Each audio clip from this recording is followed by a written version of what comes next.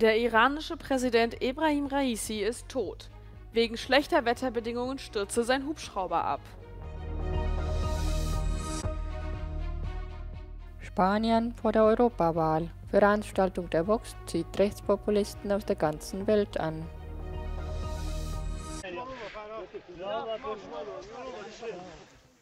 Der iranische Präsident Ebrahim Raisi ist bei einem Hubschrauberabsturz in den Bergen im Nordwesten des Landes ums Leben gekommen.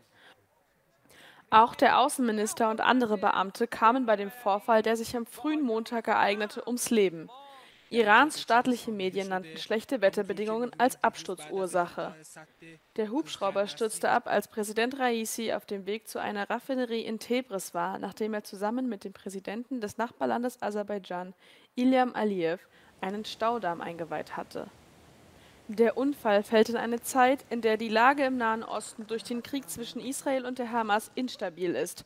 Auch der Iran hat erst im vergangenen Monat einen beispiellosen Drohnen- und Raketenangriff auf Israel gestartet. Die Präsidenten Russlands, Chinas und der Türkei gehörten zu den ersten internationalen Politikern, die ihr Beileid bekundeten.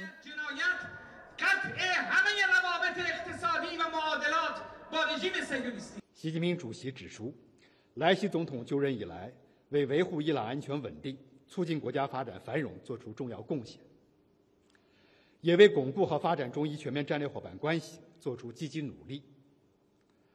他的不幸遇难是伊朗人民的巨大损失，也使中国人民失去了一位好朋友。中国政府和中国人民十分珍视中伊传统友谊。Auch die EU bekundete über den Präsidenten des Europäischen Rates Charles Michel ihr Beileid. Im Iran versammelten sich Menschen auf der Straße, um den Tod Raisis zu betrauern, während andere Iraner in aller Welt die Berichte zum Absturz begrüßten. Der erste Vizepräsident Mohammed Mohber wurde zum amtierenden Präsidenten des Landes ernannt. Der Iran hat eine fünftägige Staatstrauer ausgerufen.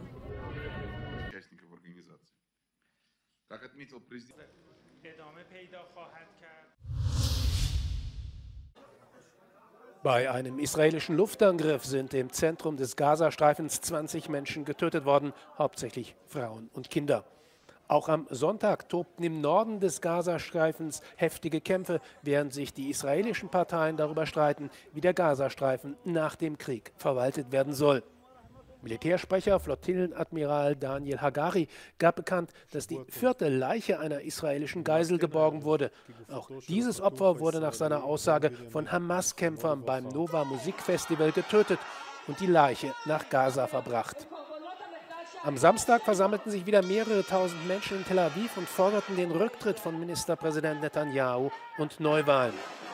Netanyahus wichtigster innenpolitischer Gegenspieler, Ex-Verteidigungsminister Benny Gantz, drohte, sich aus dem Kriegskabinett zurückzuziehen, wenn bis zum 8. Juni kein Plan ausgearbeitet wird, wie der Gazastreifen nach dem Krieg verwaltet werden soll.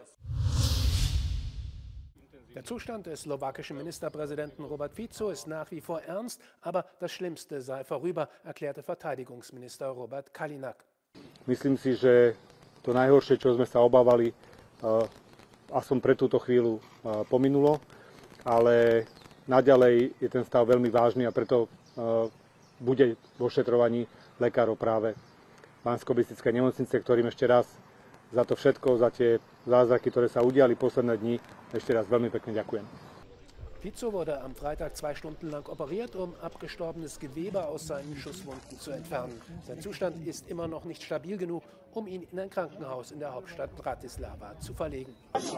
In my opinion, people pay too much attention to politics and they, we have lost the humanity somewhere along the way.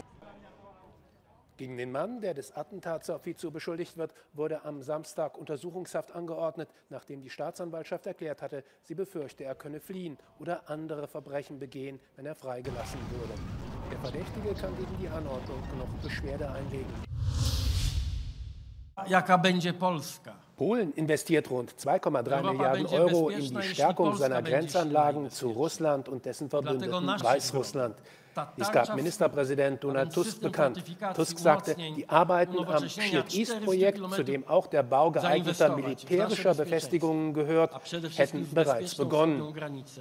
Tusk wählte für seine Ankündigung einen Truppenappell aus Anlass des 80. Jahrestages des alliierten Siegs in der Schlacht von Monte Cassino gegen die Nazis im Zweiten Weltkrieg. An der Schlacht war auch das zweite Korps der polnischen Exilarmee beteiligt. Polen liegt an der Ostflanke der NATO und der Europäischen Union und Tusk betonte, dass Polen eine zusätzliche Verantwortung für die Sicherheit Europas trage. Polens vorherige rechte Regierung errichtete für mehrere hundert Millionen Euro eine Mauer an der Grenze zu Weißrussland, um den massiven Zustrom von Migranten zu stoppen.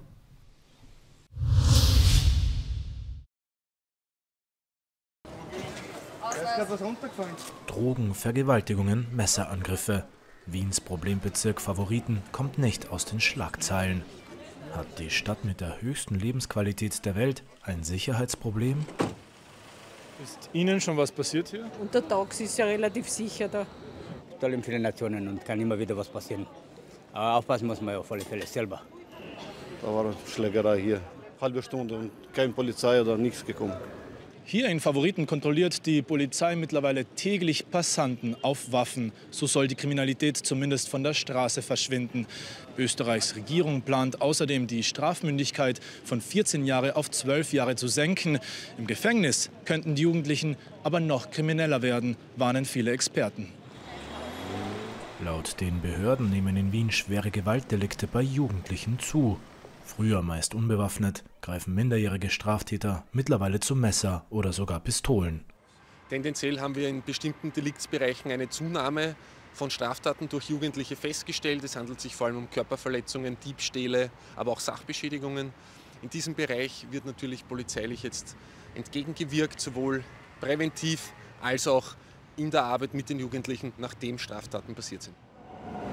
Obwohl Österreich beim Weltfriedensindex auf Platz 5 rangiert und damit zu den sichersten Ländern überhaupt zählt, haben die Vorkommnisse im Multikulti-Bezirk Favoriten wohl trotzdem Einfluss auf die anstehende EU-Wahl. Der einwanderungskritischen Partei FPÖ wird ein haushoher Sieg vorhergesagt. Johannes Pleschberger, Euronews, Wien.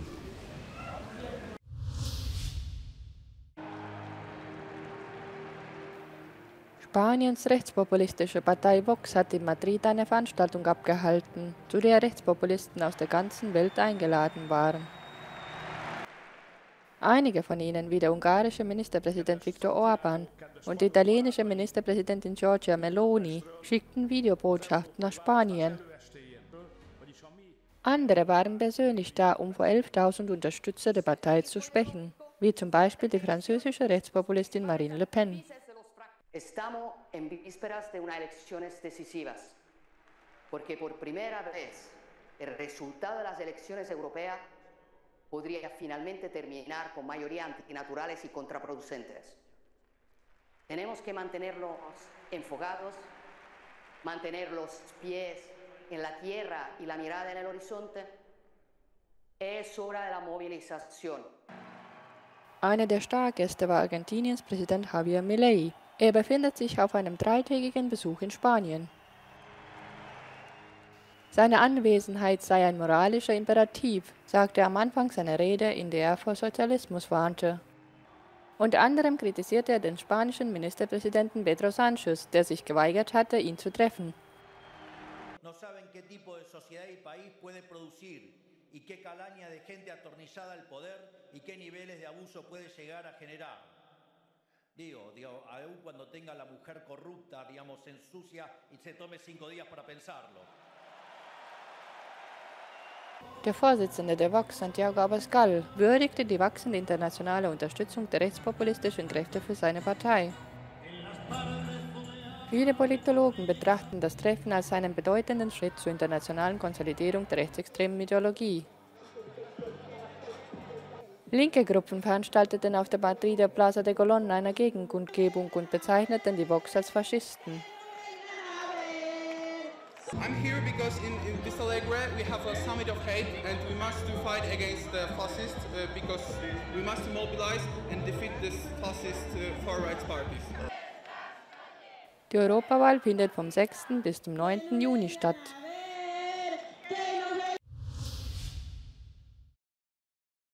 Auf der Donau in Ungarn hat sich am Wochenende ein Schiffsunglück ereignet. Ein Schnellboot war in der Nähe von Verütsee mit einem Hotelboot kollidiert, das daraufhin sank. An Bord befanden sich acht Personen, nur eine von ihnen schaffte es ans Ufer. Die Leichen von zwei Personen wurden gefunden, die Suche nach den übrigen fünf Vermissten dauerte zuletzt noch an.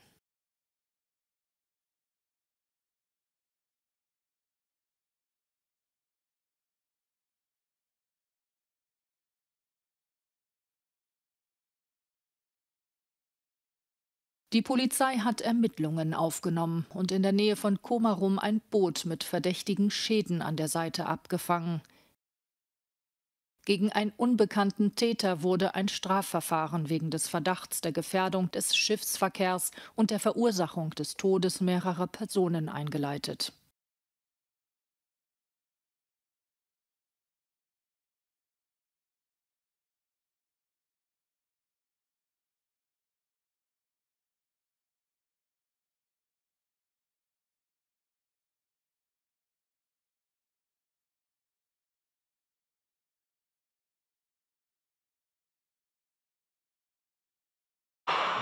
Der ehemalige südafrikanische Präsident Jacob Zuma hat am Wochenende das Wahlprogramm seiner neu gegründeten Partei Umkhonto Wesizwe als MK-Partei bekannt vorgestellt. Noch ist unklar, ob Zuma bei den Wahlen in weniger als zwei Wochen selbst antreten darf. Zuma hat gegen das Urteil, das ihn wegen seines Strafregisters von der Wahl ausgeschlossen hatte, Berufung eingelegt. Der 82-Jährige wurde 2021 zu 15 Monaten Gefängnis verurteilt, weil er sich geweigert hatte, vor einem Antikorruptionsausschuss auszusagen. Um Shinuam, Um, um Shinuam, um.